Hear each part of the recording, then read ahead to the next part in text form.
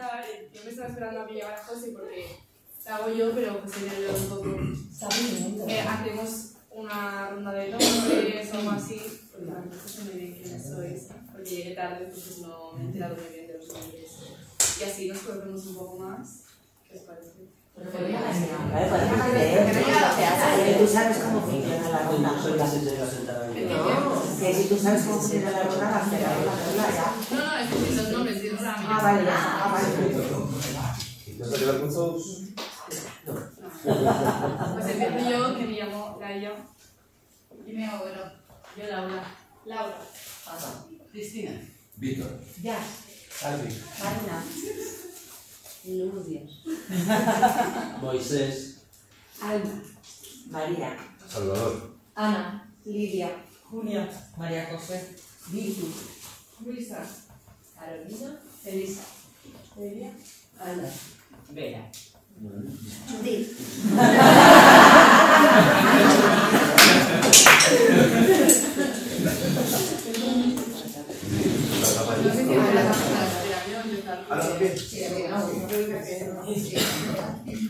Vale, mi formación o taller o como lo queréis llamar es sobre cómo romper los roles de género en el horario escolar.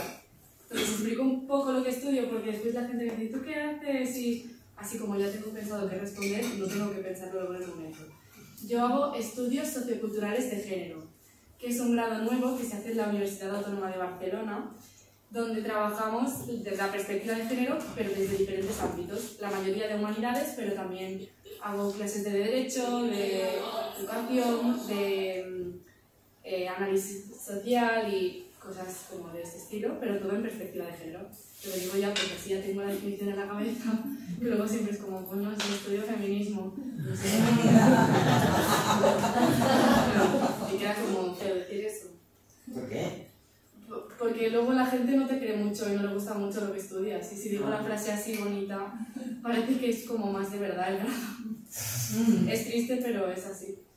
Entonces, antes de trabajar sobre el tema, yo quería un poco que entre todos los que estamos aquí eh, sacáramos la definición de qué son los roles de género. Aquí hay una, pero es de la, de la Wikipedia, donde tampoco le prestéis mucha atención. Pero mi idea era un poco que lanzáramos entre todos los que estamos algunos conceptos y a partir de aquí construir un poco lo que creemos nosotros que son los roles de género. Así que si alguien se anima. Depende un poco de la sociedad en la que, en la que hablemos, hay unos diferentes roles, ¿no? Claro, los contextos. En principio es como estas eh, maneras de ser o de comportarnos que nos dictamina la sociedad según el... No debería ser así, pero según el género biológico con el que nacemos, que dice que un hombre o una mujer deben ser de una manera o de otra. Sí. La mi idea era construirlo, no voy a decir que está bien está mal. No, no, no. Cada uno lo entiende también de una forma diferente. Añadiría que además de comportamiento y, que, y de norma, se añaden mm, eh, vestimentas, colores, juguetes. Conducta. Yo por roles entiendo las mujeres enfermeras y los hombres abogados, ¿no? Esos estereotipos. Sí, el rol es el papel que juegas a varios niveles.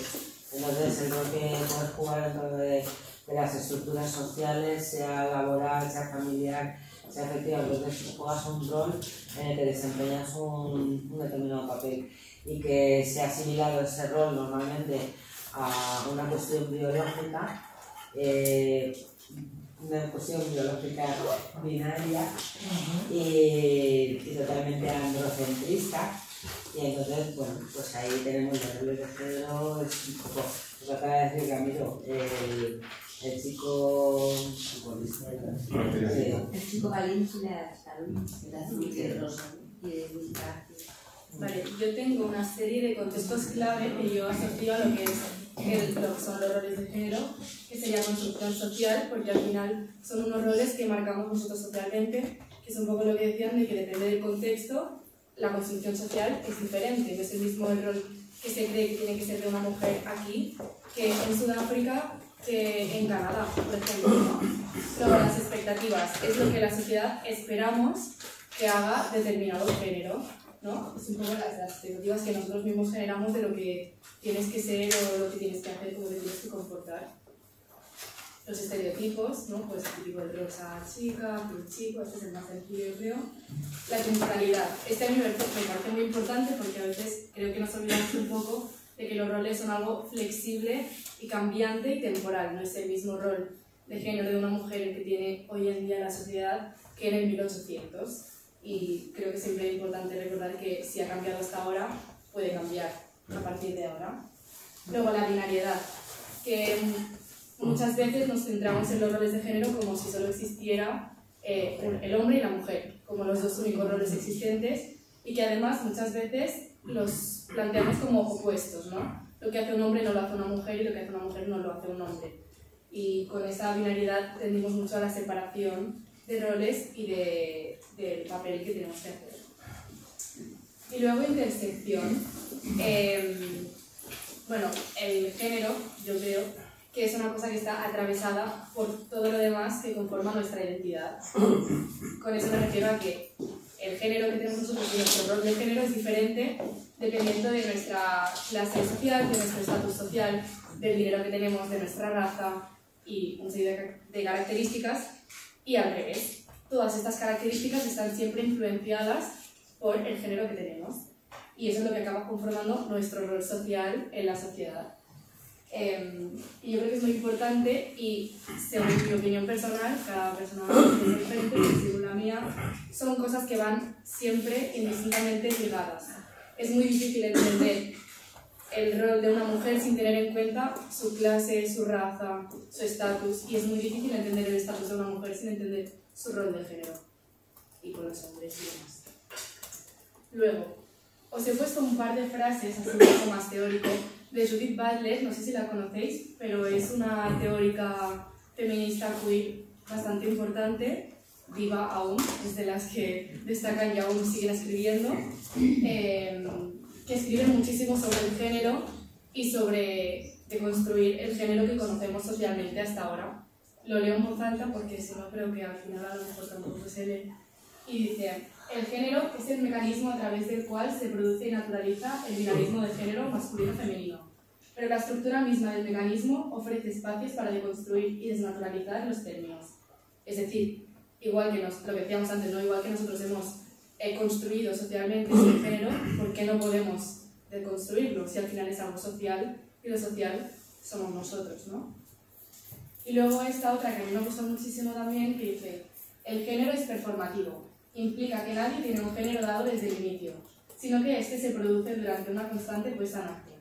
Es decir, en la repetición cotidiana de las normas de género que nos dicen cómo ser o no ser hombres o cómo ser o no ser mujeres. Es decir, que nuestras prácticas cotidianas son lo que definen los roles que luego tenemos, ¿no? Si estamos acostumbrados en nuestros hábitos a funcionar de una manera por ser mujeres o por ser hombres y lo reproducimos, somos nosotros quienes estamos dando pie a la construcción de estos roles sociales. No lo he dicho, pero cualquier duda, cualquier interrupción, cualquier idea me interrumpís, que yo voy a hablar mucho y no tiene tanta gracia. Entonces, yo he traído esto aquí que lo voy a ir pasando y si queréis que cogéis uno cada persona, que es una teoría que se llama la Best Person y sirve para explicar diferentes conceptos en torno al género. Y en este caso hace una clasificación de cuatro, pero espero que lo tengáis todo y así lo sacamos. Has dicho que Butler es eh, una artista todos- Ah, los, las teorías queer son las que se basan en el feminismo, pero también en un feminismo desde la diversidad o fuera de- del binarismo, ¿no? las que se tratan más de investigar dentro de lo que sería el no binarismo o de las orientaciones sexuales no normativas. Las, son las teorías feministas que se van más a lo que no es normativo, a la disidencia un poco. Pero yo creo que con, o sea, feminismo, o sea, teoría, teórica feminista englobaría también esto que sería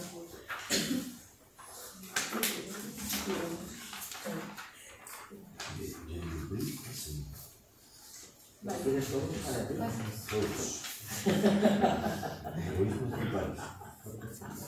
Entonces, aquí veis que hay cuatro conceptos diferentes la identidad de género, la expresión de género, el sexo biológico y la orientación sexual.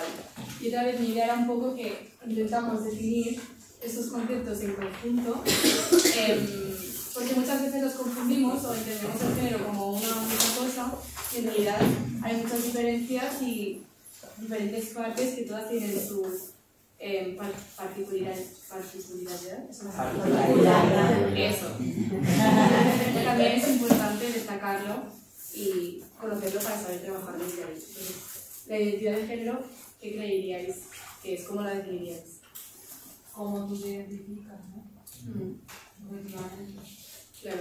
La identidad es como una misma persona se identifica. Yo me puedo identificar como mujer o me puedo identificar como hombre. Y es una decisión mía de mi, de mi conciencia eh, y de mi identidad. Igual que yo me puedo identificar o puedo conformar mi identidad con otros aspectos, pues eh, la identidad de género también. Luego la expresión de género. Esta muchas veces se nos olvida un poco. ¿Cómo saco esa identidad, no? ¿Cómo te expresas? ¿Cómo actúas? ¿Cómo te expresas? Esto con el otro grupo hemos dicho que a lo mejor podríamos separarlo un poco en dos, que una parte es la expresión de género desde una misma, quiere decir, cómo yo expreso mi identidad de género, y otra expresión de género es cómo leen los demás mi expresión de género. Es decir, yo a lo mejor me siento chica, me identifico como chica, pero llevo ropa o el pelo de una forma que los demás no están entendiendo que soy una chica. Están entendiendo que soy un chico, que tengo una expresión masculina de chico. ¿Me explico? Sí. Entonces yo centraría más la expresión de género en cómo leen tu identidad los demás, en base al físico, al comportamiento, a la forma de hablar, el tono de voz, em, las acciones, lo que estudiamos, en lo que queremos, etc. Luego el sexo biológico. Un conjunto de características biológicas relacionadas a la reproducción. Mm. Eh, bueno, es lo que han dicho, ¿no? Es conforme, conforme naces, las características que pues hemos asociado a esto es un chico, esto es una chica, como serían los genitales, los cromosomas, las hormonas, este tipo de características. Y luego la orientación sexual. Hacia si te sientes atraído por unas personas u otras, ¿no? Ajá. Y a mí, antes de hecho también... Asexual, ¿no? También puedes no sentir atracción. Exacto. Em, esta a mí me hace gracia porque los nombres que usamos, las categorías que usamos, no solo se basan en hacia quién tú te sientes atraído y la identidad que tiene esa persona, sino también en la identidad que tengo yo. Hay una palabra diferente por si a una chica le gusta un chico que por si a un chico le gusta un chico. Entonces, es como un apunte, pero me, me hizo muchísima gracia. Y ahora, yo tengo, es un juego pequeñito, no hace falta ni levantarse, para intentar ver qué pasa y cómo esto no es tan blanco y negro como parece de chico-chica, expresión femenina masculina, sino que es un espectro, es algo mucho más ambiguo y de colores que no una cosa u otra. Es un juego que se llama semáforo, pero también hay que llama barómetro. Y básicamente yo os diré si os sentís de una forma de otra, y una tenéis que levantar la mano arriba de todo y la otra pues abajo de todo. Entonces, si yo os digo que vosotros vestís como lo que socialmente es ropa 100% de chico, tenéis que poner la mano arriba. Si es 100% de chica, la tenéis que poner abajo. Poned las manos.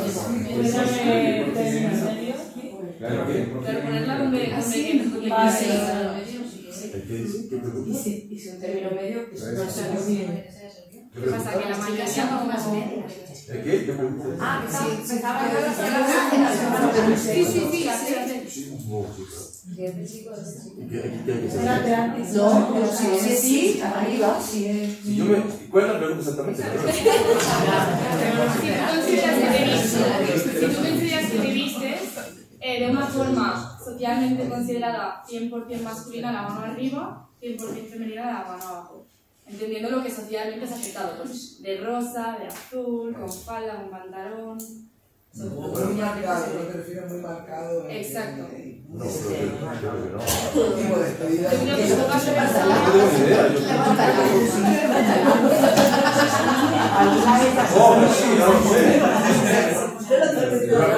¿Cuánto falta carnaval, eh? No pasa nada. Claro, mi idea es que vierais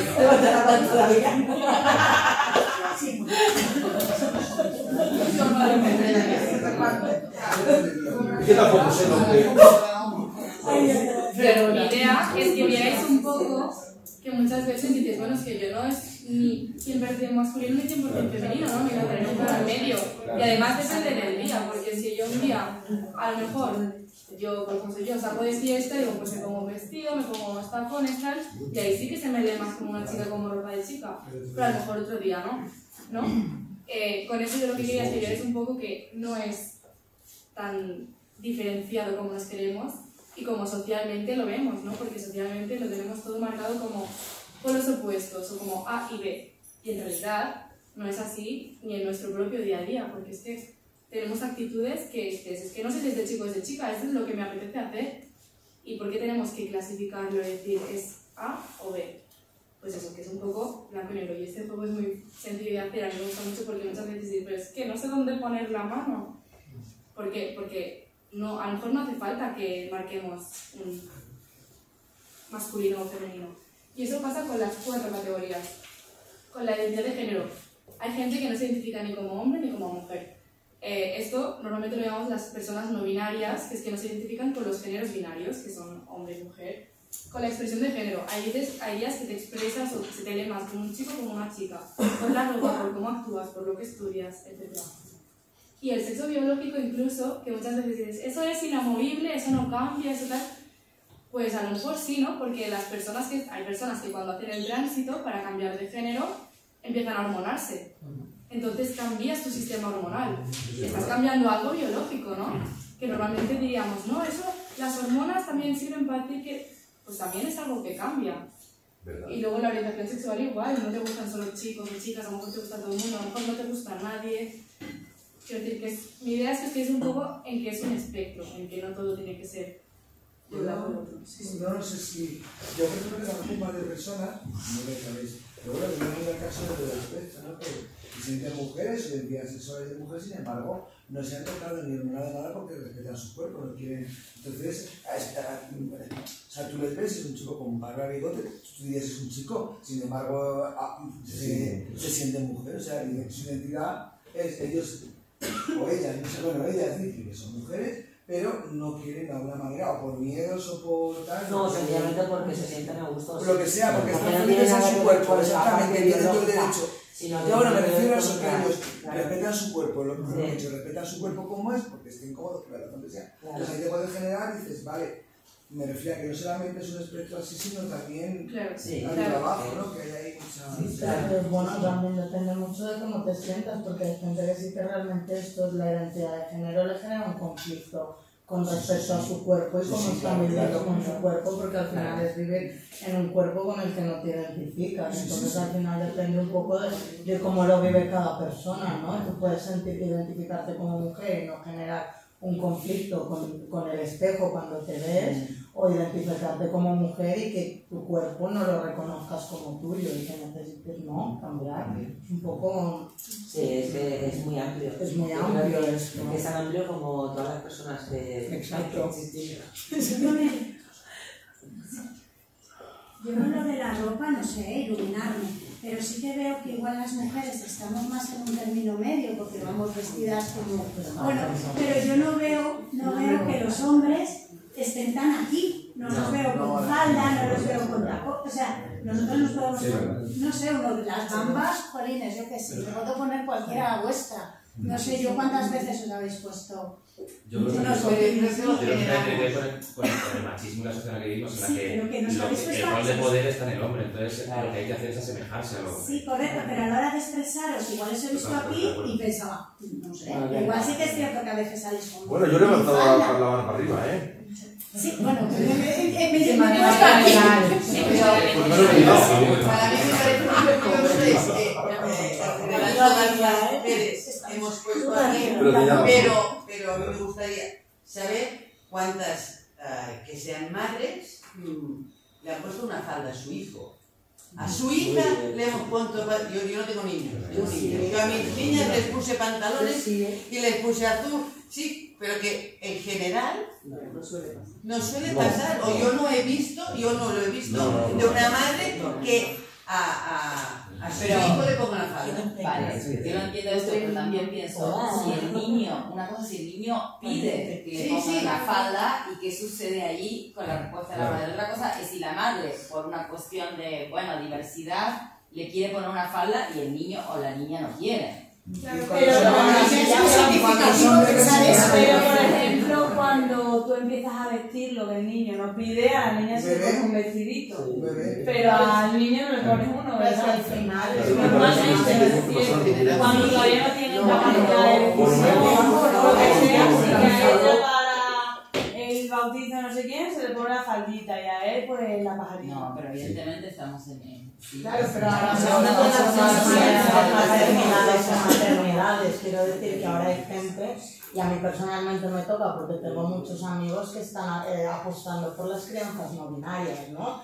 Y es como que al final llega un momento que es complicado, ¿no? Y, y yo no sé si podría, yo ahora mismo no soy madre, pero sí que es verdad que tomamos una decisión de género cuando compramos ropa, ¿no? Y sí que es verdad que ahora, como al- alrededor mío se están generando mucho estas nuevas maternidades, paternidades, me hace plantearme si, pues esto del género puede ser aprendido y cómo veo cuando estoy con mis, con mis amigos, cuando en, en plan, bueno, pero ¿qué es? No, estamos haciendo crianza no binaria, pero algo tendrá entre las piernas, ¿no? Y es como la sociedad, como no, o sea, necesitamos catalogarlo todo en un punto binario y es el punto de decir, bueno, pues ya llegará el momento en que mi, mi hija me diga qué es, ¿no? O sea, porque si no al final lo estamos decidiendo nosotros.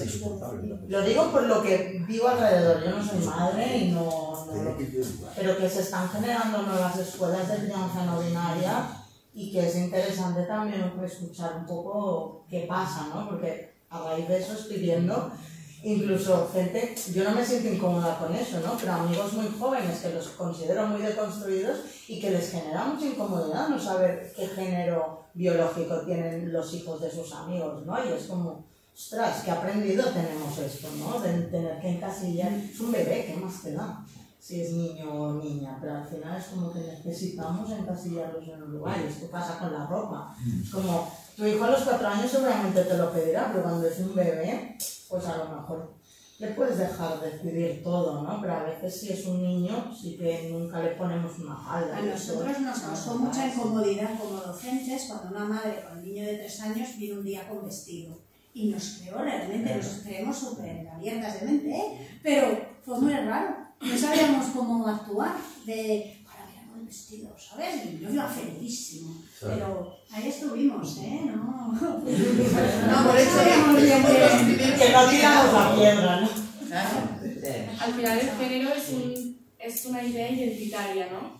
Y durante mucho tiempo lo ha sido que una de las primeras cosas que aprendemos y que usamos para identificarnos o para que nos identifiquen el resto es el género, ¿no? Tú cuando ves a una persona, de lo primero que identificas es el género que tú lees, no puede, luego puede ser el que sea, pero es muy difícil de cambiar y es muy difícil de trabajar y de salir de estos estereotipos sociales porque es que lo, hemos, es de lo primero que aprendes y es una cuestión identitaria y al final todos queremos ser reconocidos y por el tipo de sociedad en la que estamos ahora, el género hace falta para ser reconocido. No digo que tenga que ser así, digo que socialmente es como estamos funcionando ahora como sociedad y desde hace muchísimo tiempo. Para también hay una parte en la que yo pienso que también habrá que transformar incluso los nombres que utilizamos porque no hay tantos nombres neutros que se utilicen para ambos, bueno, para todo el espectro de géneros que puede haber, ¿no? Y es verdad que ya con un nombre yo identifico una cosa u otra, esto como pues Ariel, Nahuel, sí que hay algunos que a lo mejor puedo identificar en mi cabeza, pero son muy pocos. Bueno, y a lo mejor, además también no solo como encontrar nombres neutros, sino los que ya tenemos en nuestra sociedad, no asociados a un género. Es decir, por ejemplo, Alex es un nombre que empieza a tener es- ese Mm. juego de que se empieza a ver como un nombre neutro, pero ¿por qué Laura tiene que ser un nombre asociado al, al femenino? Yo comentar un poco que igual que queremos naturalizar, es decir, que, que, que las criaturas vean natural tanto que mamá pueda ser la que se va a trabajar y además se queda cocinando, un rol muy típico, también naturalizar un poco eso, intentar, ¿no? O sea, yo creo que el objetivo es intentarlo, que no se puede hacer así, pero intentar eso, que sea natural, que un bebé lleve un tal, o que si un niño pide llevar una falda, pues que se le ponga la falda, que el color, o sea, que de alguna manera sea natural, igual que, que no sea natural, por ejemplo, que un niño por ser niño diga, niña, tú te callas que eres una niña, eso no puede ser natural. Tenemos que un poco generar desde todos los aspectos también, o sea, igual que queremos que el rol, por ejemplo, profesional o de poder o de empoderamiento, pues yo creo que también eh, podemos cambiarlo, más nada naturalizarlo, que no esté asociado a ninguno de los géneros binarios, por decirlo así, ¿no? Al final- sería una parte más a trabajar. funcionamos a través de hábitos y costumbres y lo que vemos al día a día. Y igual que yo, es un ejemplo que me gusta mucho. Mm, En nuestro colegio había una niña desde P3 que iba con silla de ruedas o con muletas porque bueno, tenía una discapacidad y no podía andar y no, desde que nació. Para nuestro entorno era lo más normal del mundo ver gente con ruedas por la calle en el cole, era lo más normal. Pero había niños que hasta que tuvieron cierta edad no habían visto nunca que no podían andar así como andamos nosotros, ¿no? Pues con eso es el mismo. Nosotros generamos un hábito de ver que eso era algo recurrente. Pues a la que empezamos a ver niños con falda, se vuelve un hábito que hay que integrar y no siempre es fácil porque cambiar los hábitos es muy difícil y más porque se genera un espacio seguro dentro del colegio, el aula o tu círculo de amigos y fuera ya no. Pero son hábitos que hay que ir rompiendo, que hay que ir trabajando y generando nuevos también. Pero yo creo que también nos estamos viendo una importante que es la presión social, ¿no? Claro, claro. Sobre todo en entornos muy cerrados es muy difícil, ¿no? Y a lo mejor la madre o el padre quiere que ese niño, porque si ella eh, quisiera como, como niña, ¿no? Pero a lo mejor la presión social se lo impide, porque el sitio pequeño puede ser tan grande que es casi, casi, imposible, porque te haría la vida imposible, ¿no? Entonces yo que en las ciudades a lo mejor es un poco diferente, ciudades grandes, pero la presión en un sitio pequeño es terrible, ¿no? Pero igual, Muy conservadores, también.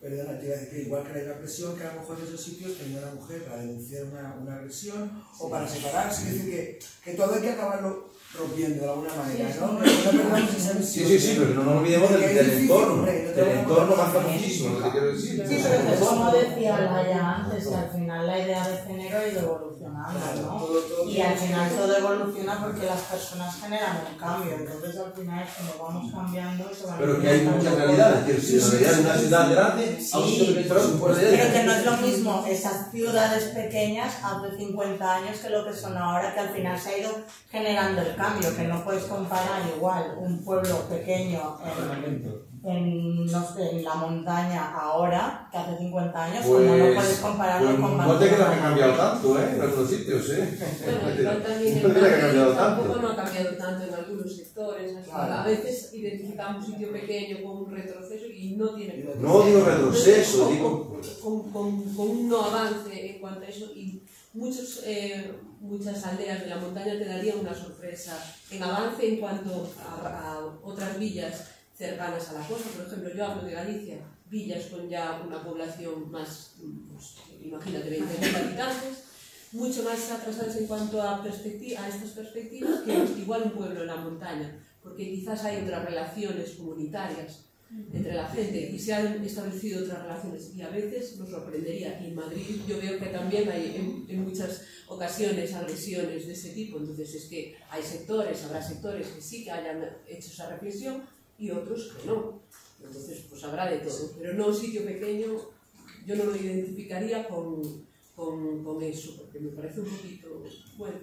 Yo creo que también hay una cosa que le haya dicho al principio, que al final todo esto es una construcción social. Entonces, al final, también este concepto de social puede ser más sistémico o más concreto en cada espacio de nuestro ecosistema concreto en el cual ahí se desarrollará cada cosa de una forma distinta. Eh, entonces, creo que al final no tiene que ver con, con el tamaño quizá de la población, sino con el ecosistema que se ha creado. O sea, por otro sí, que a lo mejor no tiene que ver concretamente con esto, pero en aquellos pueblos que ha llegado población eh, racializada de alguna forma, evidentemente va a ver a esa persona de una forma, o, sea, o a ese colectivo de una forma concreta respecto a otro espacio en el que no haya llegado esa población racializada. Por ejemplo, pues al final no deja de ser lo mismo desde otro punto de vista. A mí. Yo creo que es muy interesante para mí lo que ha dicho Judith, ¿no? Es decir, eh, aquí somos todos como, como muy modernos, ¿no? O estamos muy, muy receptivos a todos estos temas y somos muy conscientes y lo vemos todo muy bien, pero eso, te llega un niño con un vestido a la escuela y, y sabes que, que- que no pasa nada, pero la primera es, joder, ¿qué hago? Que pues no digo, pero te sorprende, te sorprende y reaccionas y por muy bien que lo quieres hacer, tú has reaccionado. Y eso se nota. Y, y somos nosotros que no lo hemos hecho, igual que lo digo y, y lo digo con la sinceridad, yo creo que, que, que si hubiera tenido un niño, no se me hubiera ocurrido poner, si me lo hubiera pedido, sí. Si, me lo hubiera, si, si yo tengo un hijo y me pide, me quiero poner una falda, seguramente se lo hubiera puesto. Pero si no me lo pide, por inercia, por concepto, por, por, por vivencia, yo lo hubiera vestido de niño. Porque Si nunca le hubiera puesto un vestido. Porque entonces si tienes un bebé, te estoy hablando, un bebé niño, y le pones un faldón, porque ahora no sé si se llevará, pero antiguamente se llevaban los faldones, a los bebés con faldones. ¿Qué pasaba? Tú ahí estabas viendo un bebé, no estabas viendo ni niño ni niña. Por eso. Entonces, yo creo que estamos ya demasiado mm, rizando el rizo. A ver si me entiendes. Yo creo que hay que avanzar mucho como sociedad, pero también tenemos que avanzar nosotros. El no decir, cerrarnos tanto. Por eso te lo digo que, que a veces. pero Nosotros mismos nos, nos cerramos. Nos cerramos, es lo que te decía, que a veces que queremos ser abiertos, pero que cuando encuentras esa situación te sigue sorprendiendo y a veces no sabes cómo reaccionar. Y que me gustaría no relacionarlo con la orientación sexual de, de- de nadie. Y yo creo que aquí es muy importante los diseñadores, al final es arte, ¿no? La moda, porque igual que nos ha cambiado la manera de vestir a las mujeres, ¿no? Que podemos es- vestirnos perfectamente como cualquier hombre, ¿no? Al revés, que fuera al revés, que a nivel de moda de arte consiguieran que la falda fuera algo que pudiera relacionarse y ya no ver a alguien y pensar, bueno, seguro que sí, Pues en los o 80 seguro que, o sea, y ahí no estamos. En los 80 salió y no, y no triunfó, ¿eh? Por, por eso creo que necesitamos buscar- llevaba faldas en Claro,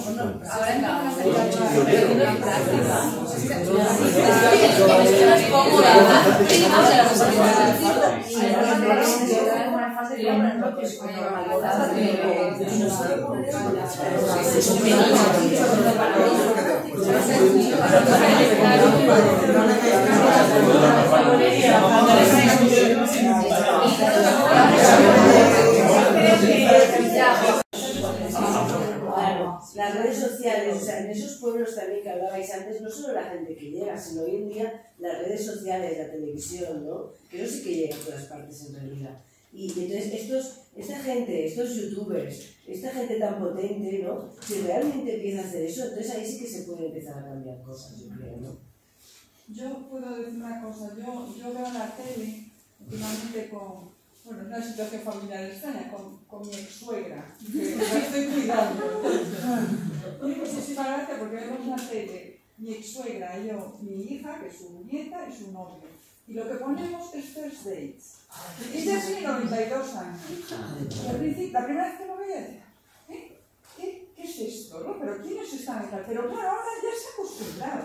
Claro, Sí, son- son hábitos. Que cómo le gusta.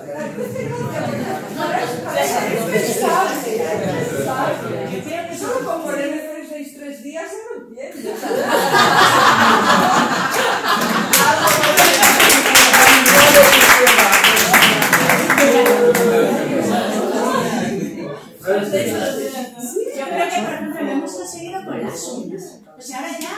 Pintan las uñas.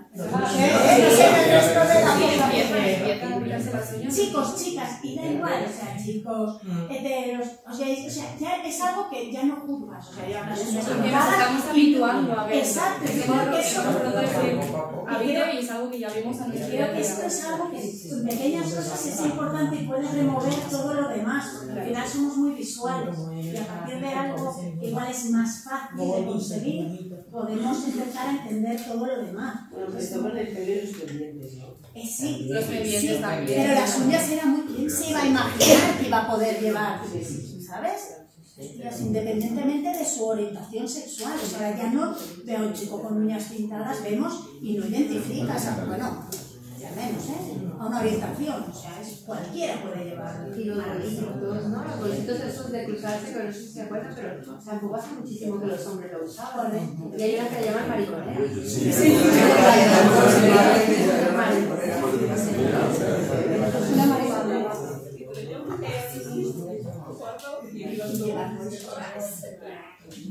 eh, que a mí me parece como muy interesante lo que ha dicho eh, que creo que a veces también tenemos que hacer un auto ejercicio de, de es eso que nos gusta mucho ahora encasillarnos en cosas y a lo mejor antes pues lo que decía ella, ¿no? Se ponía un faldón y no había nadie se faldón hijo. O, por ejemplo, ahora Pero hijo bebé, ¿no?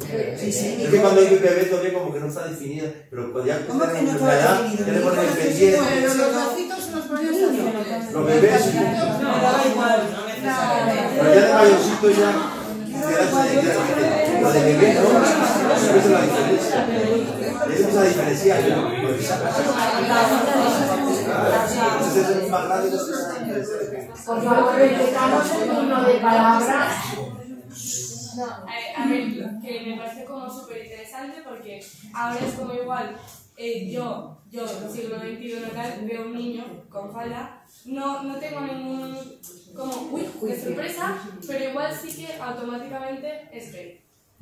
O es trans. O ¿sabes? le van a hacer bullying. Tenemos, Sí, tenemos eso esta, sí. esta idea, no en general, pero, pero si nos planteamos a lo mejor eh, el pensamiento que las mujeres tuvieron cuando vieron una primera mujer que se ponía pantalones en público, seguramente no pensarán, es bollera. Seguramente pensarán, buah, pues igual yo también quiero, ¿sabes? O como para meternos como a veces hay este como retroceso, avance, retroceso, avance, y de como de que nos queremos meter mucho como en, en Pues todo depende de la comodidad de cada uno. Mira, mi madre, Claro. eh, mi madre era muy, bueno, me llevaba muchos años a mí, ¿no? Como mayor. Y mi madre, cuando yo mamá, ponte pantalones.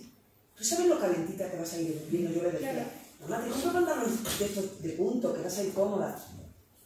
No, no, no. Bueno, accedió. No quería farda. Mi madre mamá, me quería pantalones. Ya. Sí, pero que, No pasa nada. creo que hay que distinguir entre aquellas cosas, para mí, al menos personalmente, entre aquellas cosas que a día de hoy ya no te pone una diana en la espalda, en ciertas cosas, por ejemplo, desde mi experiencia personal, yo como persona homo- homoafectiva, eh, yo es verdad que salgo de fiesta maquillado muchas veces, pero soy consciente y a mí eso me ha hecho empatizar mucho con cómo esas mujeres por la noche han sentido miedo, porque yo eso lo he sentido en ese momento y nunca lo he sentido antes. Porque yo soy consciente que el hecho de haber salido así me implica una posible violencia en la calle, que si no lo hago y no me muestro de esa forma, ya me implica esa violencia, o, me- o es menos probable que me ocurra. ¿no? Entonces creo que al final, o sea, que sobre- sobre- simplemente esto, de, esto que tengo yo aquí me implica y me, me interpela de una forma concreta. Pero en definitiva también tienes que hacer lo que tú te sientas a gusto. Sin duda, sin duda, sobre Depende,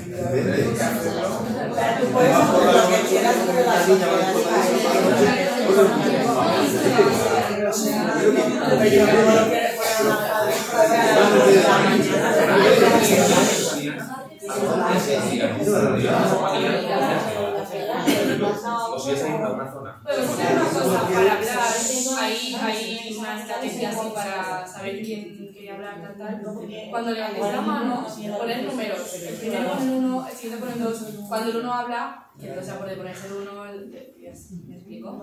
Digo porque así a lo mejor se hace más fácil los turnos de palabra. Yo quería decir que estamos hablando mucho de la parte física, la parte de vestir, pero luego hay también otras partes. Mi hijo, por ejemplo, en la escuela, él no quiere jugar a fútbol y no le gusta jugar a fútbol. Y yo pienso que eso también es muy importante, ¿no? O, claro, y, y entonces ya, solo por eso, por no querer jugar a fútbol, ya es, es, mm, separ- sí, es tachado de, de no ser pues un niño niño o no hacer las cosas que hacen los niños. Porque no es lo habitual. Como jugar con muñecas, exacto, puede se dedica a la danza o juega con muñecas, ¿no? Entonces a mí también, eso también se tiene que cambiar. Eso son violencias también, una violencia del patriarcado. Es decir, que si sale de la norma, eh, está sufriendo una violencia a nivel diferente. No es una agresión física, pero al niño se le están achacando por lo que dices tú, por, por querer bailar o por no querer jugar al fútbol. Eso es una No, pues violencia. en, su- en mi caso mi hijo no se le machaca, ¿eh? Pero ya... No, pero que le machacan, no se le condiciona. Es decir, que hay una violencia, una violencia mínima a lo mejor, pero sí que es, te está condicionando. Te está diciendo qué hacer en el recreo. Yo, yo es que lo ves, es que lo vemos todas. El típico que, claro, como no le gusta el fútbol, tiene amigos. Pues sí que es un poquito. Vamos a pensarlo, ¿no? Son una minoría los que no... Ya, pero Preferencias personales, o sea, se con- condicionan tu experiencia como individuo en base a tus mm, preferencias personales, porque no sigues el rol de género establecido. Yo lo que quería decir con respecto a lo que estaba diciendo Víctor. Sí, pero soy yo el dos. Es que sí que es verdad que, en, con, y dando lo que dice José con lo que dice Víctor, lo de tienes que hacer lo que te sientas a gusto. Lo que pasa es que muchas veces nos sentimos a gusto con lo que la sociedad quiere y no lo que queremos nosotros. Y es lo que tenemos que luchar. Porque estamos hablando ahora mismo bueno, de los hombres, de los roles masculinos con queriendo usar eh, ropa femenina. Pero a mí, por ejemplo, y hablo a nivel personal en el tema de la depilación, a mí me encantaría no hacerlo, pero no soy capaz y no me siento a gusto y sé que no es por algo individual mío, sino porque sé que, que han conseguido y me lo han metido y hay que deconstruirlo y hay que quitarse y lo tienes que quitar encima para sentirte a gusto con lo que tú realmente quieres. También os digo que la construcción social es mucho más grande que nosotros como individuos y que eh, es muy fácil, o sea, también está bien ceder porque es que no podemos luchar contra todos los estereotipos.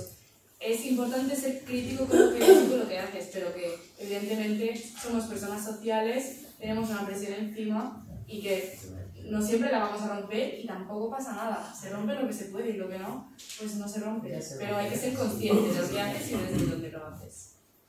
Yo lo que quería comentar era el tema de que habéis dicho de que si el niño te pide ¿no? que quiere a lo mejor ponerse una falda o quiere ir al cole vestido así, yo lo tengo, por ejemplo, el caso de mi familia, eh, mi prima que está en paz descanse, ¿no? pues su hijo, desde muy pequeño, con dos añitos, él decía que quería su peluca, que quería tapones, que él se sentía que era una mujer.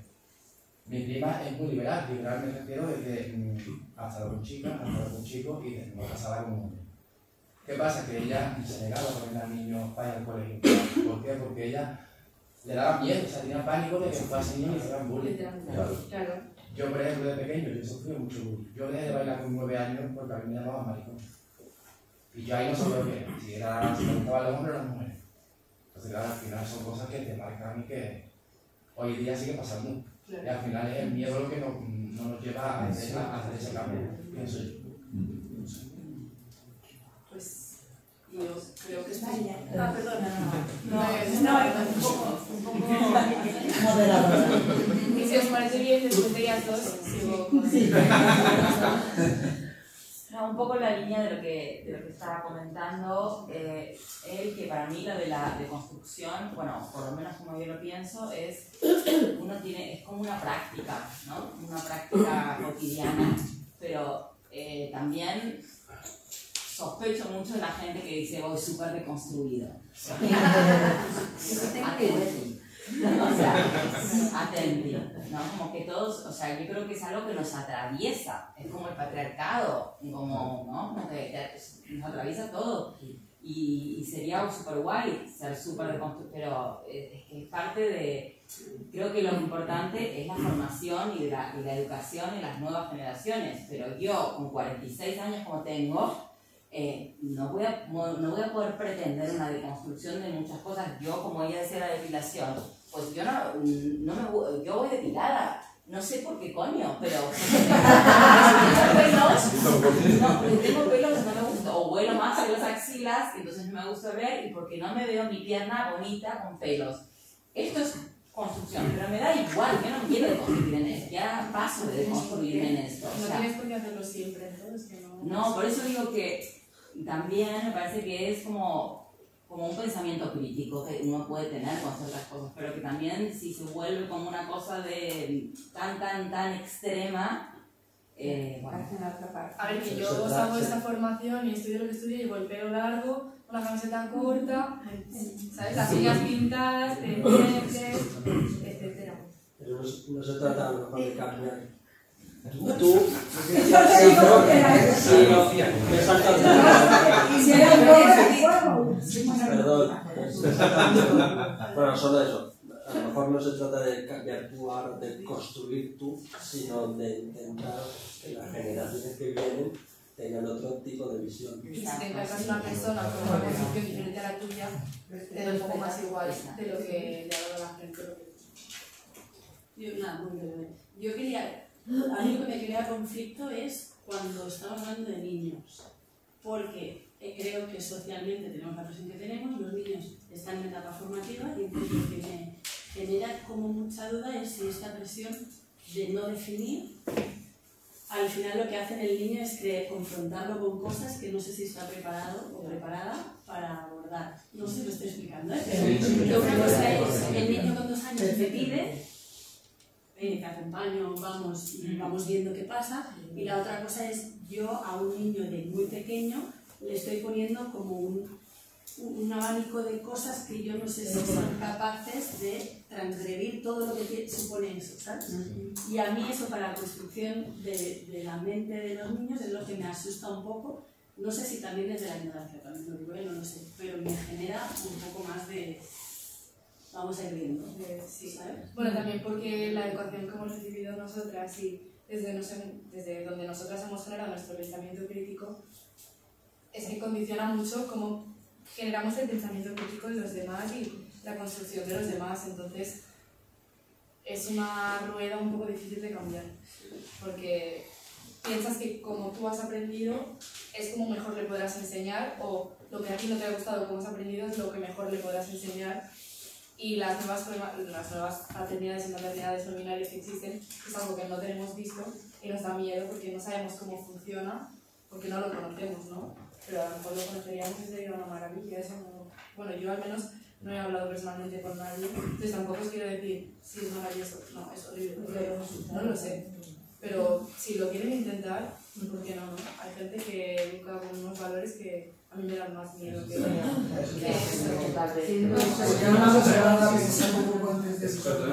Yo no lo sabía, pero sé que por, por mis amigos que en teoría el género se determina a partir de los tres años. Porque han investigado mucho y que el niño se autodetermina eh, autonómicamente, autónomamente a partir de los tres años, con los inputs que tienen. No lo sabía, lo he aprendido porque estoy conviviendo con maternidades y paternidades no binarias. Y que al final es muy pronto cuando el niño o la niña o el niñe se autodetermina su género. Perdón, o sea, yo luego al final también hablar un poco de cursos educativos, pero porque me ha recordado eso. Al final también yo creo que eh, hay diferentes pasos a la hora de conseguir todo esto y, por ejemplo, la falda a lo mejor es un ejemplo quizá ahora mismo en la sociedad quizá un poco extremo, pero sí que en un colegio me enteré de que hacían el día de la bata, de la bata de casa. Y es un concepto que tiene un género ahora mismo quizá concreto, pero a la vez también es bastante neutro. Entonces es un paso que los niños lleven una bata. Me explico que a la clase. Igual es el día del pijama o el día de yo que sé qué. El día de la bata sí que no es. Para mí es femenino, por ejemplo, llevar una bata, pero no necesariamente es femenino. O cada persona es una construcción con la que es muy socialmente marcada. Pero la bata, por ejemplo, es una cosa más desconcertante. Vamos a decirlo así. Por eso que es- es- los antes explicaban que a lo mejor no son tan radicales.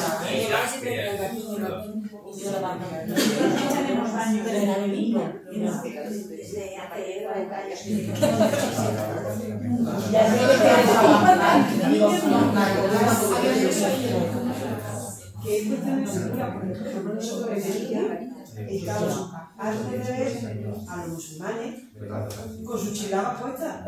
Y los niños están acostumbrados a verlos con ellas. Y nadie. Pues vuestro ecosistema pedirá otra cosa. No sabíamos que el contexto marca mucho. Yo puedo estar desde aquí, desde mi contexto, pero que en cada sitio es, es cambiar totalmente y las estrategias para abordarlo tienen que ser diferentes también. Y además entre niños estamos enfermos mal. No hacemos será. Yo pensaba,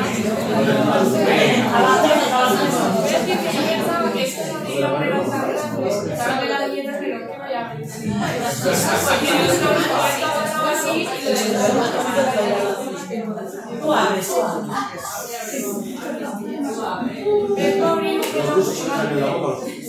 Vamos a otro melón compartido, chicos, chicas, chiques. Escuchemos a. Esto es un fenómeno gigante que es el lenguaje inclusivo. Os voy a hablar un poquito por encima de lo que es el lenguaje inclusivo. A mí me gusta muchísimo. Creo que todo lo que he aprendido de esta carrera es de lo que más me he quedado. Porque creo que el lenguaje, la forma de comunicarnos, es lo que nos mueve, lo que nos define, lo que nos construye, lo que nos relaciona. Y que nosotros nos movemos y somos a través de cómo nos comunicamos. Entonces yo lo he centrado en lo que sería la lengua más que el lenguaje, pero quiero que entendáis que también se trata de las imágenes, de los vídeos, de los estímulos visuales, que el lenguaje lo es todo, pero yo os he puesto sobre la lengua. Entonces, yo creo que es algo muy importante y lo de em, hay mucha polémica, no quiero que estéis todos de acuerdo conmigo, pero os lo comparto, porque creo que muchas veces le damos más importancia al género de quien hace la acción que a la misma acción. ¿no? ¿Por qué tiene que ser más ¿Por qué tiene que importar a quién le estoy pidiendo, o sea, qué género tiene lo que le estoy pidiendo a alguien más que lo que le estoy pidiendo, ¿no? Y creo que al final el lenguaje, el lenguaje inclusivo es una forma de no categorizar lo que estamos diciendo, sino que sea algo donde todo el mundo se sienta identificado y apelado.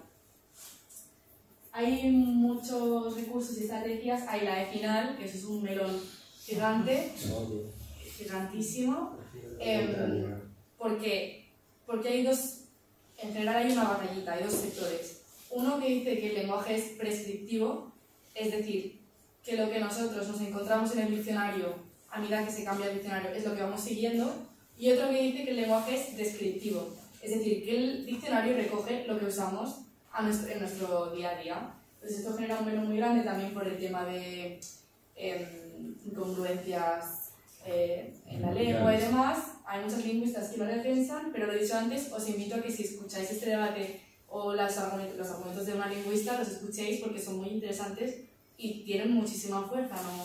A mí me gusta mucho la E o la I en catalán, pero que tienen argumentos que son de peso. Luego la neutralidad, los genéricos femeninos y masculinos.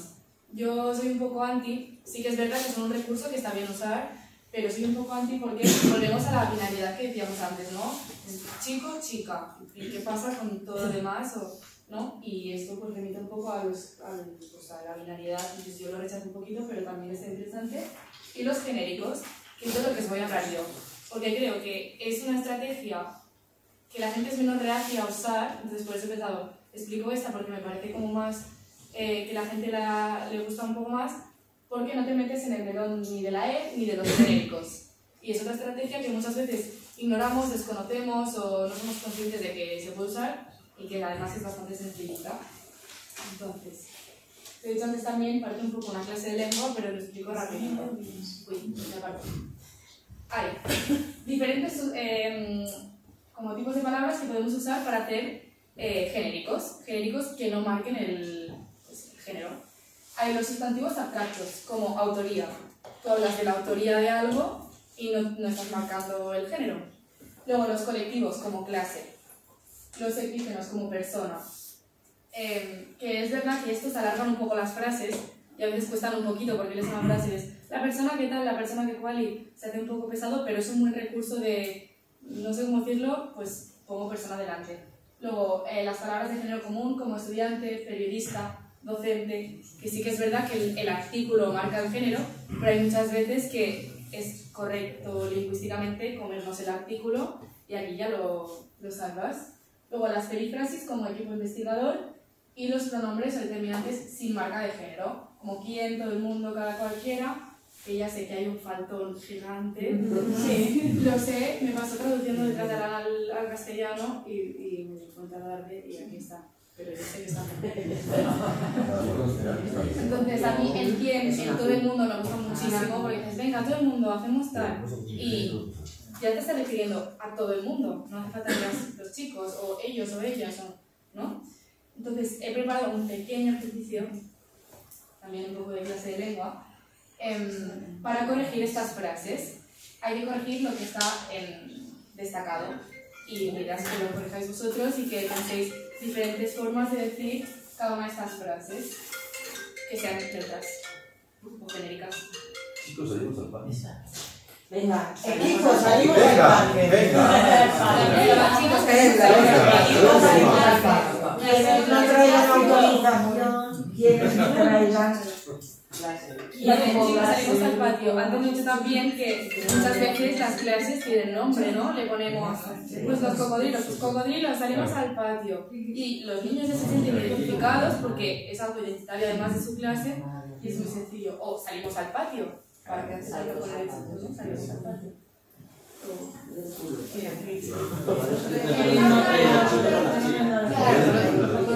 Quien no traiga autorización no vendrá a excursión.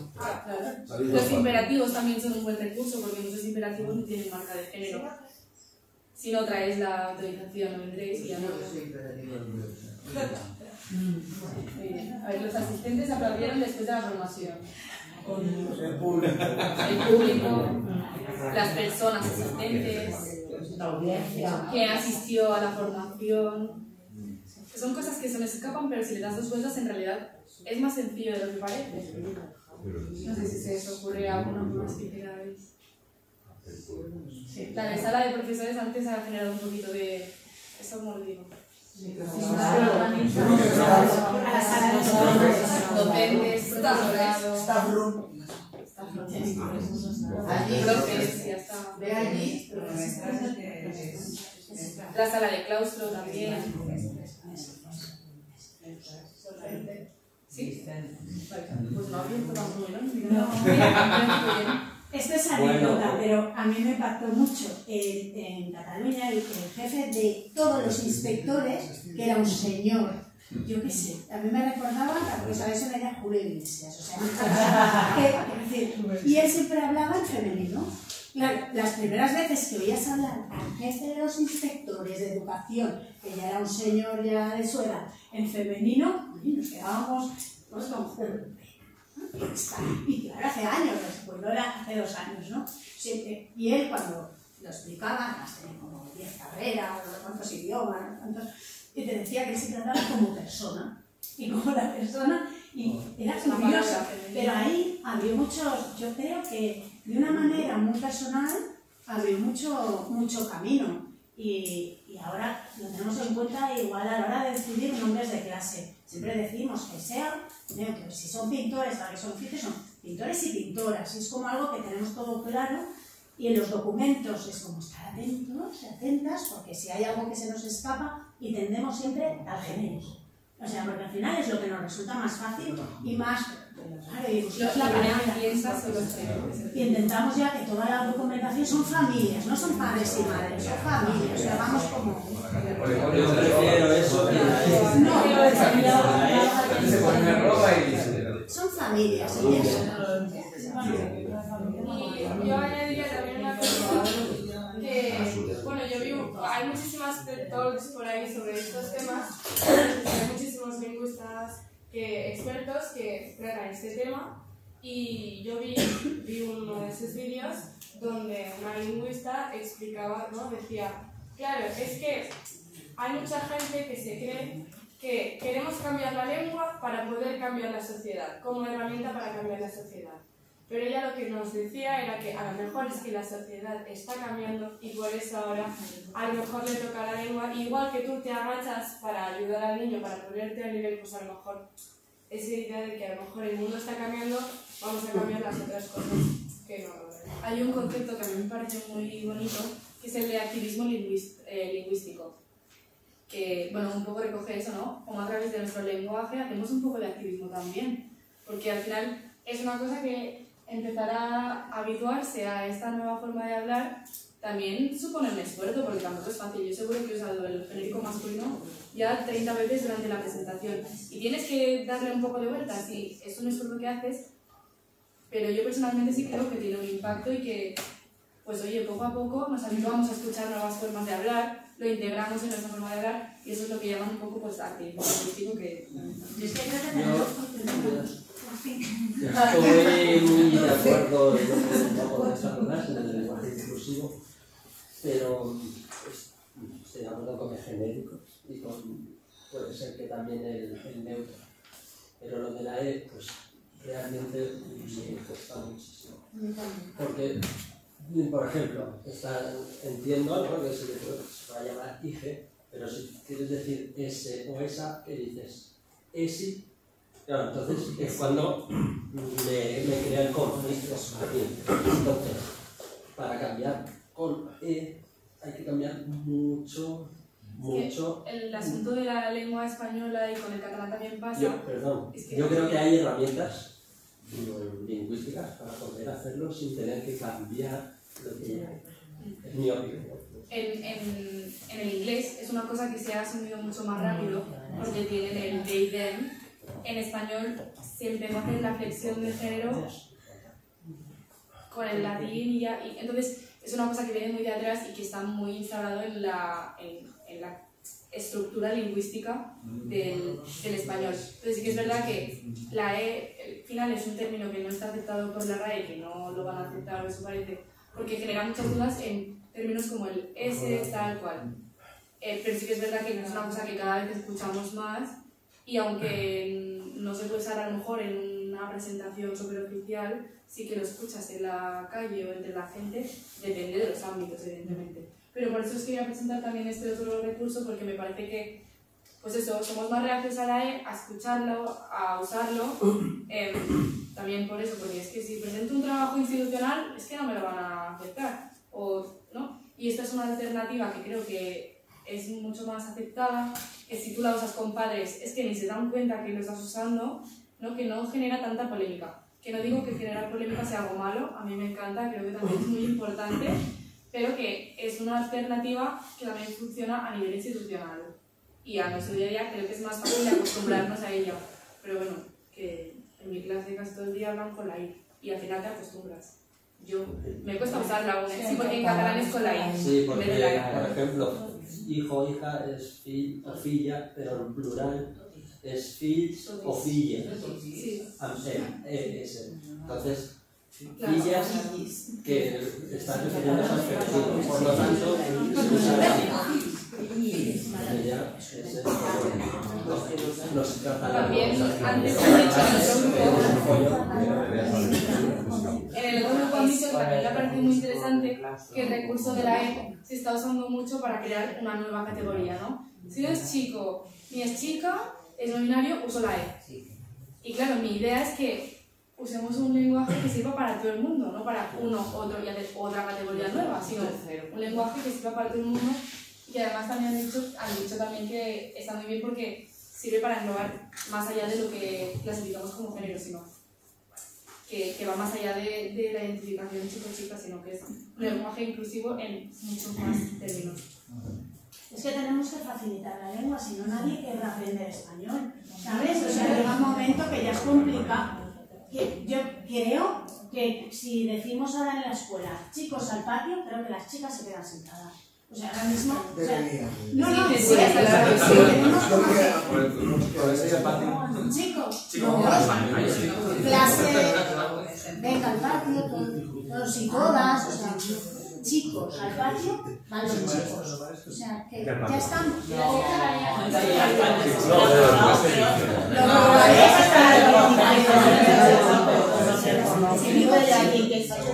a lo mejor- Y las chicas, claro. También es una de danza son las más solidarias. También no se debe-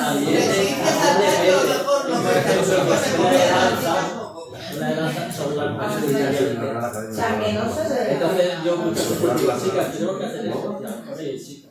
Digo, lo suyo, vamos a aguantar, porque en el cole seguro que escuchan mucho.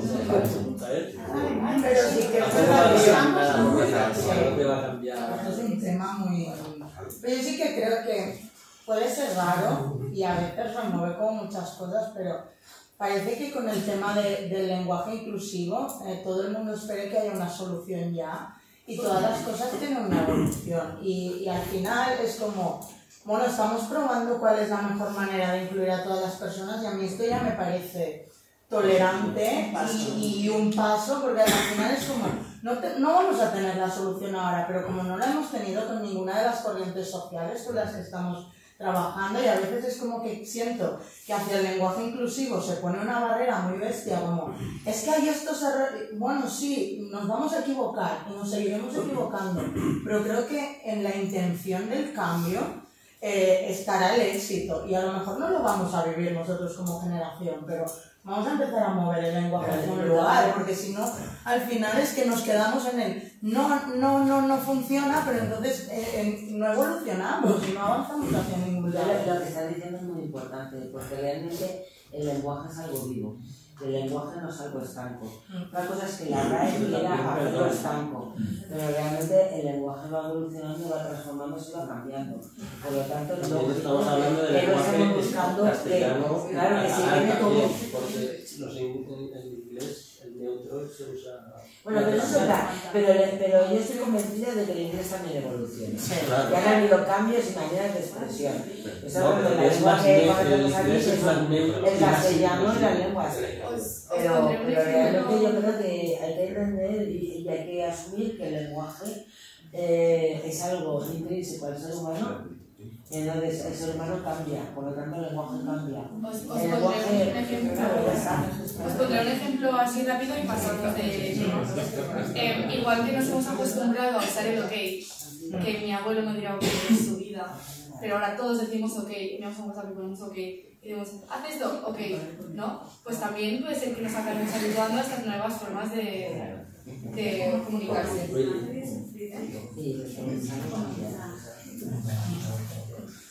Entonces, ahora viene algo un poco más divertido. Si antes no hemos podido hacer, así que tengo curiosidad. Aún más divertido. Una representación de la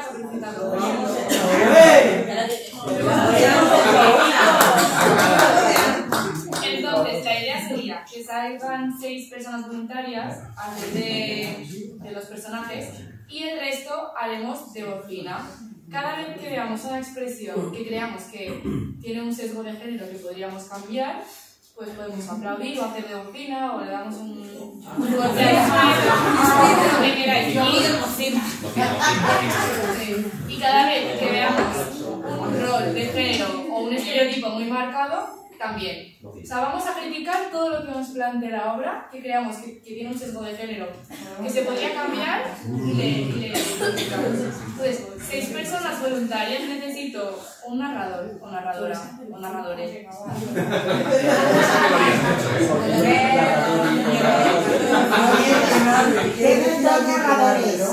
No, no, no, deja ella, que yo soy el otro día. Yo, pero si soy narrador. Además, Es que lo tengo en castellano, lo tengo en catalán, lo siento. No, no, no lo decía por el catalán. Ya, ya. yo ya he hecho. Vale. Esto, una madre. La su madre, ya que. Necesita madre. Una madre. Una Los madre. que no han hecho caperucita esta la. Una para que sea el protagonista. Esta la yo.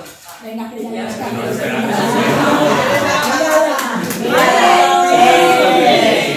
Ha nacido para ser caperucita.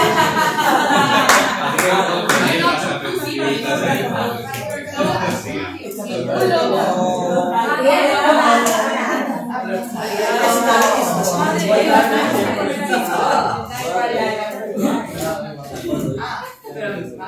Hay una cosa. Necesito, espera, me falta la abuelita.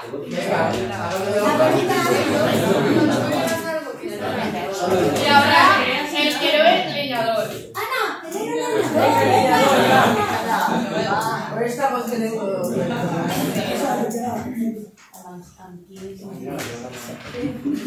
No, yo soy una. No,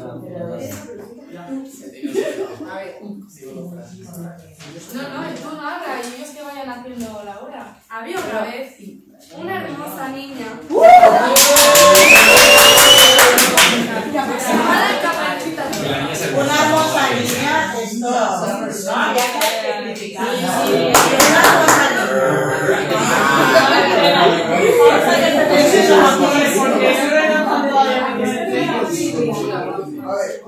Queremos cambiar una hermosa niña. Eh, que me proponen por ahí que hagamos un aplauso, porque si no, no se nos. Cuando veáis algo mal. Vale, una radio. Caperucita, la abuela está enferma. Sé una buena niña y llévale esta canasta de comida. De acuerdo, mami. Aquí tienes un pastel, algo de pan y miel. Ya mismo la llevo. Seguiré el sendero del bosque. Sí, por favor, ve directa a casa de la abuela y no hables con ningún extraño. Caperucita se desvía un poco del camino, recogiendo flores para su abuelita, cuando se encuentra con un lobo. ¿Hacia dónde vas, pequeña? A visitar a mi abuelita que está enferma. ¿Por qué no, abuelito?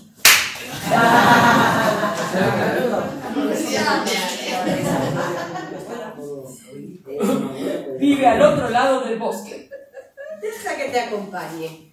Este bosque es muy peligroso. Gracias. Es usted muy amable, señor Lobo, pero mi madre me ha dicho que no hablo con extraños. Está bien, dulce niña, pero ten cuidado en tu camino.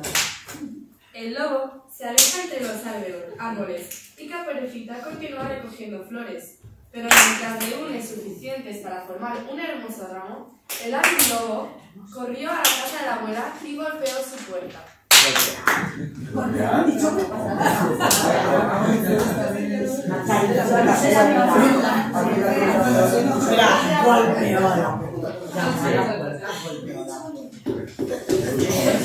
Soy Caperucita. Te he traído comida. Ah, entra. Estoy en cama. Hola, abuelita. ¡Sorpresa! ¡Oh, socorro, socorro! Pero el lobo se devoró a la abuelita en un instante. Se vistió con sus ropas y se metió en la cama. Caperucita Roja golpeó a la puerta. ¿Quién es? Soy yo. Tu nieta, tu nietecita. Entra, querida. Hola. Oh, abuela. ¿Qué ojos tan grandes tienen? Para verte mejor, tesoro. Y el lobo se devoró a Caperucita Roja en un parpadeo. Estaba tan satisfecho que pronto se quedó dormido y empezó a roncar ruidosamente. Esos sonidos llamaron a la atención de un leñador que pasaba. Echó un vistazo para averiguar. Así, que, así fue que el siguiente leñador entró a la casa de la abuela y al ver al lobo con la panza hinchada y dormido sobre la cama de la abuela vistiendo sus ropas, le abrió la barriga y de un salto salieron la abuelita y Caperucita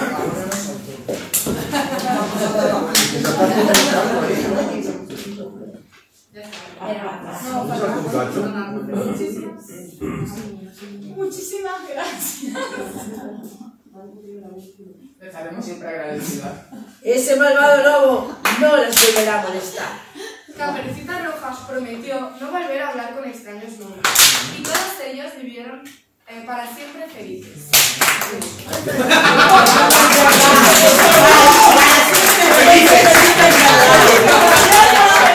¡Adjetivo!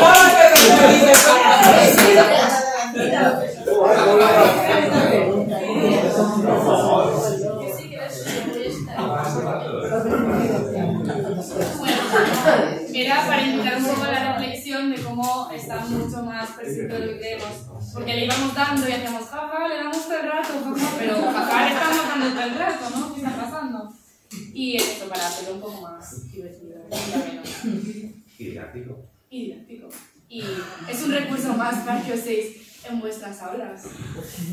Vale, hablando de recursos y estrategias, em, a mí me apetecía que habláramos un poco de puesta en común de estrategias que os puedan venir a la mente para pues, neutralizar un poco ese género dentro de las aulas y restarle un poco de importancia. Em, la primera cosa es el juego del semáforo o el barómetro que que hemos hecho, pero que también se puede hacer poniendo a la gente de pie en un aula y dices, vale, pues ese lado del aula es una cosa y el otro es el otro. Y se posicionan así en la escalerita o cosas así que también están muy bien. Luego, tendimos mucho a la separación cuando queremos hacer separaciones mixtas. Hacer, vale, pues niño, niña, ¿no? Porque es lo más fácil, porque si no se ponen por grupitos y como siempre van niños con niños, niñas con niñas, salen los grupos separadísimos. Pues a mí me parece muy interesante separar con otros criterios, que no sea uno, dos, uno, dos em, que es como características como la ropa. Eh, antes he puesto el ejemplo del color, ¿no? Dices, todas las personas que lleven una camiseta con colores de invierno o colores fríos son un grupo y de, colores, de colores cálidos son un- otro grupo, ¿no? Por ejemplo, Eh, por gustos personales, a quien le guste leer, a quien no le guste leer, cosas de este estilo. Los sociogramas también. Y ahora pues quería hacer un poco de puesta en común de qué os viene a la mente como estrategias para, para usar en clase. O no en clase. Se podría separar por 1 y 2 y A y B.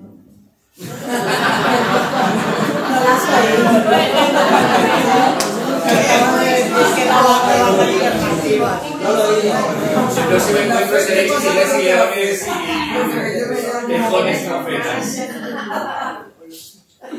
y mira, ese sería un recurso, ¿eh? De quien le gusten más los desfiles y quien le gusten más los.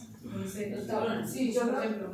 Yo creo que algo puede ser tipo como lo de la ropa, con gustos personales simplemente dando objetos al inicio de la sesión. Plan, dando brazaletes o lo que sea de colores. Porque esos temas, eso para hacer grupos y tal está muy bien, pero en realidad cuando hacemos grupos necesitamos matemáticas.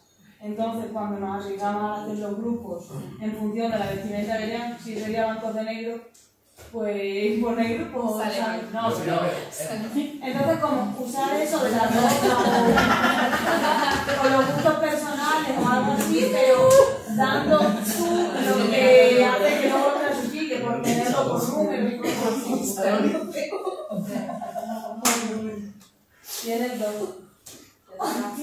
Por mantener el Sí, ya, ya, ya sé lo que iba a decir. Eh, por ejemplo, cuando empecé coordinando campamentos, sí que es cierto que me gustaba, yo contaba chuches y le daba a cada niña un chuche, y entonces a través de las chuches hacemos grupos, la cereza, los plátanos, las nubes y... Y te daba la chucha. O algo parecido que le Sí. decía, así que ya se lo han dicho. Yo daba chuche y te decía ponte ahí de paso, y yo te daba la chuche y te hacía geográficamente. Cuando empezaba a haber un momento de alergias en el que yo siento que ahora con la cocina no se puede jugar, lo transformé en gomets. Y con gomets estos de colores también pues, voy generando. Antes con una actividad de mezcla, ya los tienes mezclados y entonces puedes hacer un, dos, tres, cuatro, cinco, que ya los tienes más mezclados. Bueno, a nivel, ya no sé si era por DVD por grupos, pero a mí sí que a nivel teatral me ha funcionado mucho el tema de, para hacer improvisaciones teatrales, llevar una maleta con muchos objetos, pelucas, faldas y cosas. Y me ha sorprendido mucho, a veces en plan, tenéis que coger diferentes objetos, crear un personaje y contar una historia, ¿no? Es un rollo improvisación. Me ha sorprendido muchas veces que eh, los, los que se autodeterminan como machitos de la clase, que siempre están eh, con este rollo muy masculino, que son los que molestan, que normalmente cuando pueden ponerse una peluca, una falda y, y jugar desde ese lugar, es como que es teatro, ¿no? Entonces aquí voy a entrar y voy a jugar. Y, y me ha sorprendido muchísimo porque ha pasado muchas veces, ¿no? Que justamente estas personas que juegan a estas dinámicas en el aula, cuando eh, dices, eh, te puedes des- desidentificar como tú, ¿no? Porque tienen como un rol muy marcado que cargan encima como una mochila y es como, es teatro, no eres tú, y de repente van directamente a la peluca, al vestido y- y se lo pasan genial, ¿no? Y, y claro, al final no se están dando cuenta de que ellos mismos están cambiando ese rol que, que mm, ejercen delante del grupo, pero lo están cambiando porque le estás dando la libertad de decir no te identificas con eso. Y ha funcionado muy bien. Ahora me ha pasado una actividad que hicimos eh, mi hermana y yo. La hicimos en primer ci- ciclo de secundaria, pero yo creo que en último ciclo de, eh, de colegio eh, también funcionaría, que es que repartimos en una clase eh, unos- unas fotos de unos bebés y él nos ponía Paula y el otro ponía, pues, no sé, Jordi o algo así. Y tenían que construir el futuro de ese bebé. Y luego, al final, Primero los pusimos por parejas, o sea, cómo estaban sentados. Claro. Y les dábamos un con el sobre cerrado, así que se y no podían compartir nada, tenían que ser cada uno ese bebé. Y luego tenían que enseñar todo lo que habían construido y decirlo en voz alta y cuando terminaban se enseñaban las fotos. ¿Qué pasa? Que era la misma foto para, para todos. Y era un poco la forma de, de sacar a relucir, o de sacar el tema de por qué si creemos que es un chico le habéis puesto un futuro de este va a ser un futbolista de la hostia, no sé qué, y la niña pues va a ser mamá, tendrá una casa preciosa. Luego también nos sorprendimos porque había grupos que dijimos, ah, pues qué chulo, ¿no? Porque lo hacían pues de una forma de lo que nos esperábamos. Pero que es una forma también de tratar el tema que a mí me pareció muy guay para tratar como eso en el agua. No sé si tiene algo más. Nosotros una una de teatro muy parecida en el cole, que también por grupos eh, dibujaban una silueta de- del cuerpo la colgaron y eran, ella también buscó el grupo para que salieran, ¿no? y entonces era, bueno, ahora lo tenéis que, era la silueta, y había que vestirlo, había que ponerle los hobbies, había que, y se marcó mucho también la realidad de nuestros al que es, pues el grupito de niñas, mm, perfil totalmente el grupito de niños, pero sí que luego hubo un grupo de unas niñas saharianas muy potentes que estas sí que hicieron la mujer guerrera.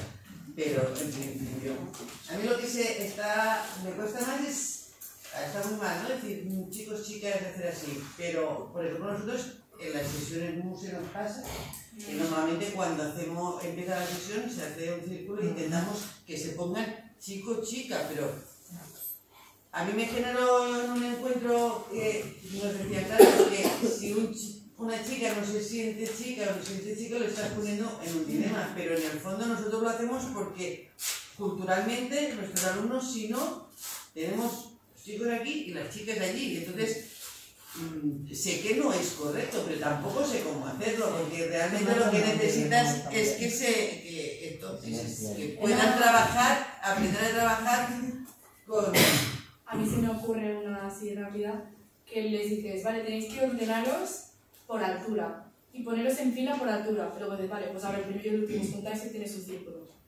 Y sí, eso sí, pero yo lo que quiero es que haya un niño con una niña al lado, porque si no las siento fatal. A lo mejor te quedan chicos, chicas, sí, chicos, Tenemos clase con tres niñas. A mí me la altura. Sí, fatal. Había que sacar genera mucho debate, porque yo también he hecho esto, pero porque normalmente me genera mucho debate ideológico, porque no quiero hacerlo de esa manera, pero si no lo hago, siempre inicio las sesiones con un círculo y siempre la mitad del círculo es femenino y la mitad del círculo es masculino y al final es como me quedo sin herramientas para generar un- un- una diversidad en ese, en ese círculo. Y haciéndolas hemos conseguido que el niño coja de la mano a una niña y la Sí. niña se coja de la mano del niño. Yo creo que hace. hay que olvidar que todavía estamos en una sociedad machista y patriarcal Sí, claro. y que las niñas sufren una mayor discriminación que en general, ¿vale? porque que los niños, ¿no? Si vamos a entrar en la, en la cuestión binaria, pero es que de entrada está esa discriminación y un niño muchas veces hace ascos a darle la mano a una niña. Es una realidad. Entonces creo que a veces, pues, vale, está muy bien eh, optar por otras alternativas, pero también creo que eh, para precisamente romper con esa falta de equidad y esa desigualdad con respecto a las mujeres, hay que hacer cosas. Creo que no, no podemos saltarnos a la torre de esas cosas, porque por si no. Bueno, se disfraza y se, y se oculta otra, un problema grave que hay. Claro, yo os he planteado estrategias que, si queréis, no podéis. Está, a mí me parece guay que integréis en vuestro día a día, pero es verdad que el contexto hace mucho y a veces en tu clase tienes unas nece- necesidades donde esto entra o donde esto no entra o donde esto entra dos semanas y luego no puede entrar más. Y tampoco pasa nada, al final yo os lanzo mm, estrategias, ideas y lo que vosotros podéis captar y usar, adelante. Y luego es, es evidente que a veces necesitamos sentar un niño con una niña porque es que si no, no lo consiguen ni del revés. Y claro, también está bien porque también rompes un- una tradición de género de separación que también hay que romperla y a veces es con la obligación de niño niña y también es importante, ¿no? Eh, yo saco un par de, de propuestas como para el tema de ordenarse niño-niña, sin tener que decir, venga, niño, niño, porque los niños también, cuando les dices, niño, niña, hacen todos. ¿Sabes? Un par de ideas sería parecido a la altura, lo que pasa que sí que es verdad que a veces los niños tienen tendencia a ser más, más altos, sería eh, fecha de cumpleaños. Si se la saben, claro, también depende de la edad y luego ya el nivel, pues que se ponga por fecha de cumpleaños. Em, y otra sería, por ejemplo, el docente o el, el, el artista, pues em, ya a conciencia dice un número a la oreja a cada uno de los niños, o sea, sin ser en voz alta, por ejemplo, a, a un niño, uno, a la niña, pues, tres tal, así a todos, y luego les dices, venga, os ponéis del 1, si son 20, del 1 al 20, en fila, y luego unimos. Y así tampoco, también es más atractivo, aunque sea para no solo niño niña, sino para que no estén el grupo de amigos siempre juntos, y así se alfabético, orden alfabético, como hay un montón de, Sí, yo intento uso mucho la de nos juntamos por color de ojos, nos juntamos por número de pie, nos juntamos por si tenemos mascotas, si tenemos hermanos, no sé, entonces hay un montón, ¿no? Pues, claro, si nos gusta la pasta. Yo quería dar otra estrategia que a mí me gusta mucho, que son los cuentos. Yo uso muchísimo los cuentos, no sé si conoces Vivan las uñas de colores. Sí. Por ejemplo, ¿no? Eh, cuentos que hablan de todo esto y que, que a través del cuento tú le estás introduciendo a los niños desde esa fantasía pues otro tipo de realidades. ¿no? Y luego seguro que Laia tú conoces porque me quiere sonar un experimento que se había hecho en muchos colegios de hablar eh, sobre estereotipos, policías, médicos, y los niños tenían que, que dibujarlos o escribir y sabían que todos eran hombres. Sí, ¿Te sí, sí, Y luego entraban a comer a la colegio y era Sí. A. Por el tema de los referentes también, usar cuentos, usar historias, cuando haces una obra de teatro, pues poner los referentes cambiados a lo que estamos acostumbrados y generas ese, uy, que, este ¿por qué me dices a mí que haga de abuelita si soy un chico, no? ¿Y por qué hacer de abuelita o de caperucita? Luego cambia el cuento. Cambia el cuento. Sí, sí, también. Se te rompe un poco. Bueno, ya casi estamos. Luego, estos son un listado de recursos que si alguien luego tiene más interés, pues se lo paso lo que quiera, que son diferentes guías, hasta Mindy son guías, eh, pues hay algunas sobre eh, el tránsito, algunas sobre prácticas de profesorado, sobre sexualidad, sobre orientación sexual. La de Mindy es una que es, de, mm, es antirracista, pues antirracista y feminista y está muy chula también. Y luego eh, he puesto este libro que se llama Enseñar a transgredir de Bell Hooks, que mm, es un libro que yo me lo leí obligada por clase, pero que me encantó. Eh, no trata solo de, del tema del feminismo, o- es un libro que escribió una mujer eh, afroamericana, negra, eh, que venía de un entorno analfabeto y que se convirtió en una de las teóricas feministas también más importantes de este siglo y que, que está muy chulo porque habla de enseñar a transgredir, cómo enseñar desde romper la norma. Y aunque sí que hay gente que es más reacia a leer y demás, es un libro que ha escrito una mujer que cree mucho en que el feminismo y las luchas son para todo el mundo, no solo para quien entiende las palabrejas súper top y súper chulas. Entonces está escrito con un lenguaje súper comprensible y está muy, chulo. Pero es para adultos. Sí, sí, sí, no, es para quien le interese el tema. Y luego he traído este también, que antes me había porque lo tenía en la bolsa, que se llama Transexualidades, que es de Lucas Platero, que también está muy chulo. Y este sí que es verdad que la primera parte pues tiene más palabrejas que pues hace un poco de pereza, pero si las buscas en Google salen enseguida también. Y tiene, no sé si lo veis, pero la mitad del libro es naranja, pues todo esto de color naranja son actividades y recursos para docentes. Son, hay desde infantil hasta la ESO y son actividades, luego hay un glosario de palabras, hay un listado de películas, un listado de libros, un listado de cuentos. Eh, bueno, hay muchísimos recursos y es una chulada de libro también y está muy guay. ¿Puedes puede repetir? Transexualidades, de Lucas Platero. Sí, sí, le queréis dar una vuelta, pero es de la biblioteca casa.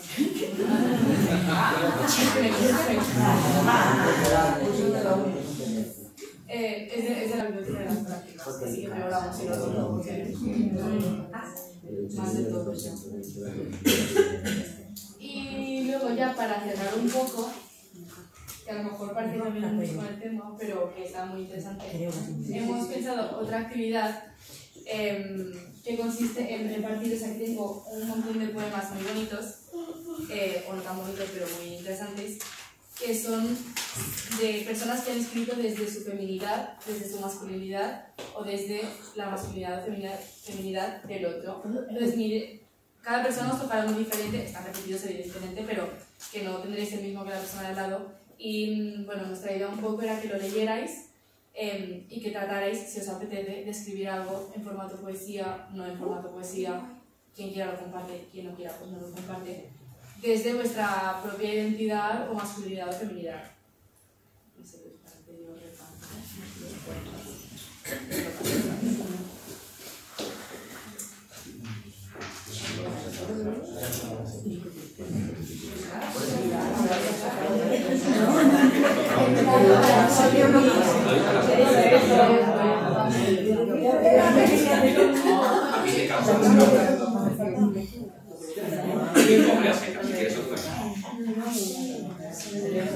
Gracias.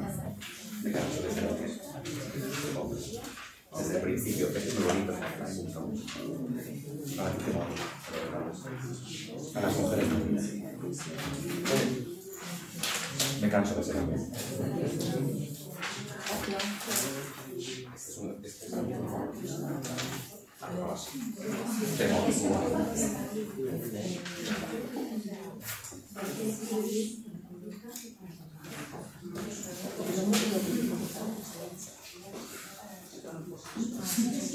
Parece a lo mejor lo que podemos hacer, antes han dicho algunas personas que no se sentían, es algunas personas, claro, eh, que no se sentían a lo mejor interpeladas justamente por el poema que les ha tocado.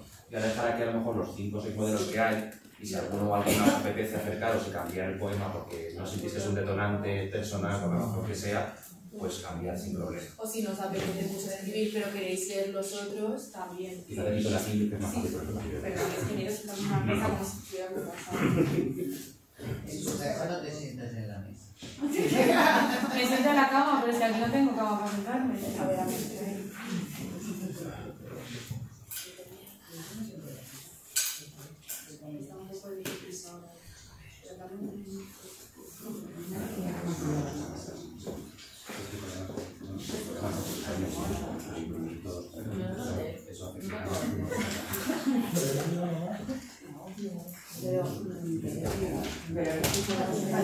Poesía, no poesía, tú como te sientes, no,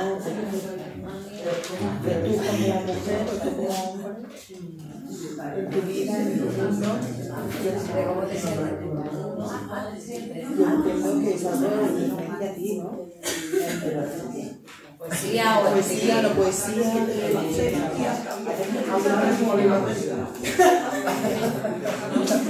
no tiene que ser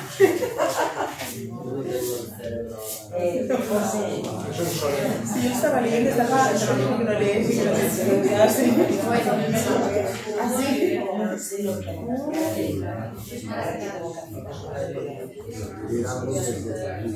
no.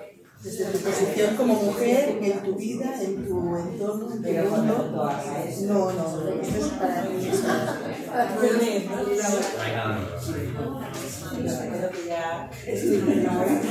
Entiendo que esto simplemente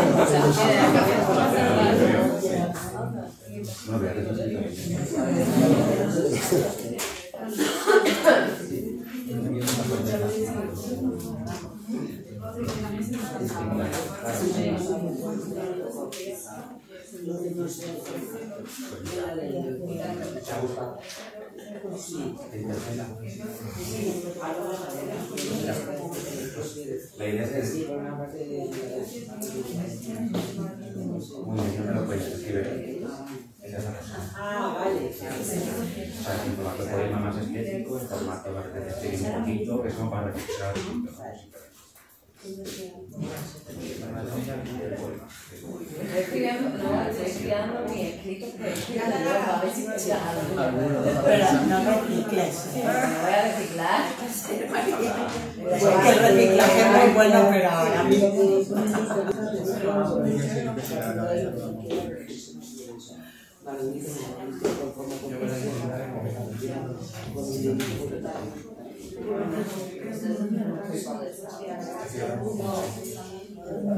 luego canto más. Pero ya está hecha, yo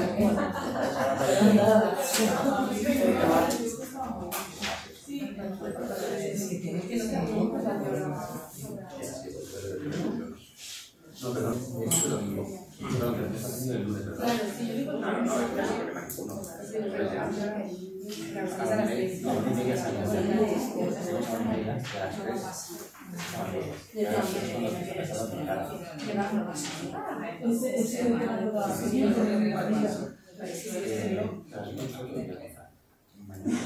Esto va así, ¿no? Mañana a las diez y media, esto tiene que ser para la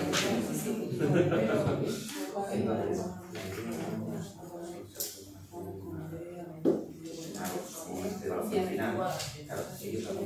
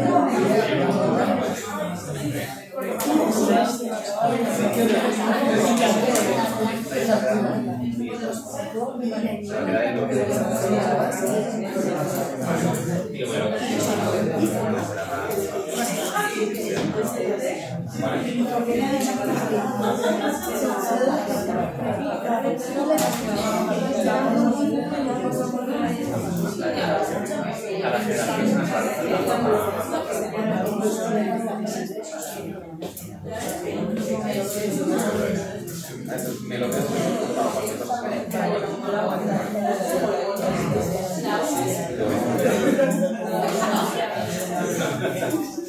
Yo creo que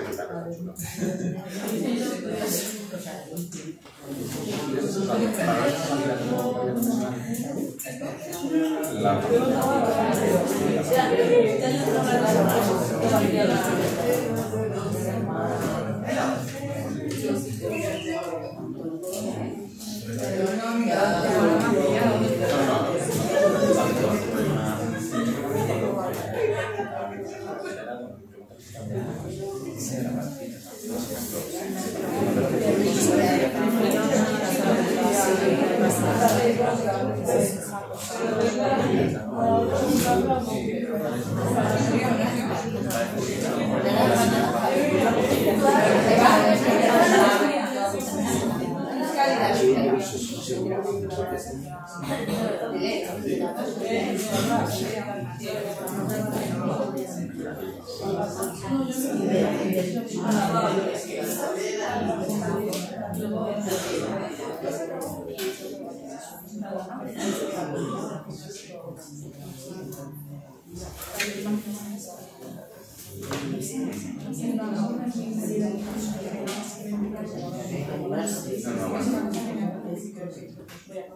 a ser que está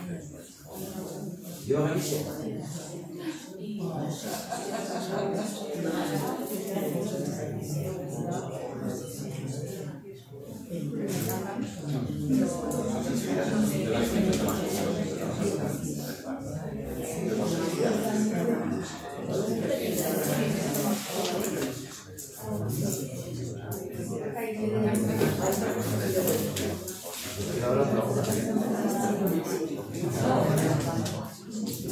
Gracias.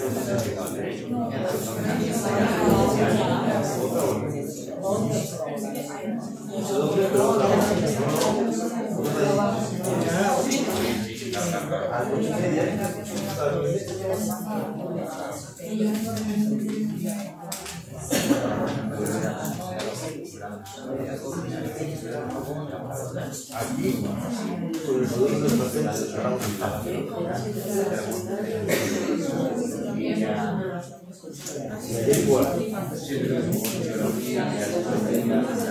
¿Eh?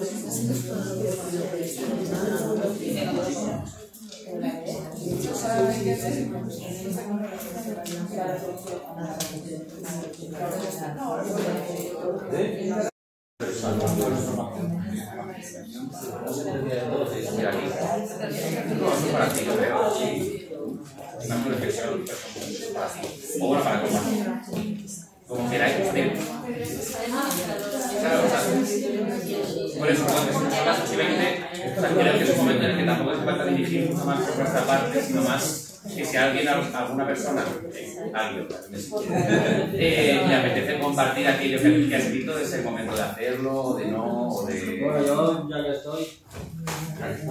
Eso. Televisión, año 1990.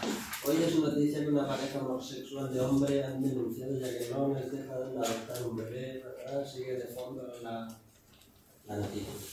Madre, Wish, es que eso no es normal. Es antinatural. El hijo, mamá, ¿tú crees que yo de mayor podré ser padre? La madre, claro que sí, hijo. Y él dijo, ¿y si te digo que soy homosexual? Ya no. La madre con cara de... Pero bueno, punto suspensivo. Bueno, esto me pasó a mí, ¿eh? O sea, y no me gustó nada ese comentario por parte de mi madre y no lo vi correcto. Pues. Bueno, ya que estamos una pequeña más. Sí. No, quiero ser hombre, no quiero ser hombre, no quiero ser mujer, tan solo quiero ser un ser humano con mi propia piel. Bueno, el mío habla de las mujeres, a las mujeres de mi vida. Y bueno, yo he escrito que una cosa que bueno, en mi vida, como me imagino que en la de todos, es la madre, ¿no? Yo he puesto que mi madre marcó mi vida, me enseñó valores, cuánto nos, nos reíamos. Era valiente, cariñosa y yo siempre he sentido que su amor era incondicional. Siempre me decía, mientras yo tenga los ojos abiertos, no te preocupes. Pero incluso después de muerta siento su compañía y su fuerza. Mamá, mi heroína y un ejemplo a seguir.